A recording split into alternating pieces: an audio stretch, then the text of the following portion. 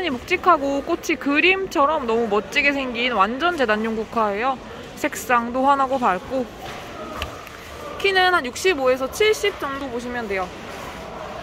대도시라고요. 한 송이 한 송이가 다 좋아요.